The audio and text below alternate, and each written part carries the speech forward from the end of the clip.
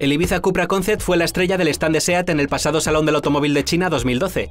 La marca avanzó que el prototipo era una versión muy aproximada del que será el coche de calle.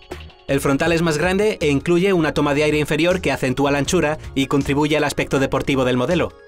Los espejos retrovisores son de color negro y contrastan con la exclusiva pintura amarillo cromo que viste al Cupra. Las luces de marcha diurna con tecnología LED, presente también en los pilotos traseros, perfilan los faros. Su propulsor es un 1.4 TSI biturbo de inyección directa. Con 180 caballos de potencia, tiene un par motor de 250 Nm. Incorpora una transmisión automática DSG con 7 velocidades y doble embrague y destaca por sus potentes frenos y por el diferencial autoblocante electrónico XDS. El equipamiento de serie es muy completo e incluye asientos deportivos tapizados en piel con detalles en color amarillo a juego con la carrocería.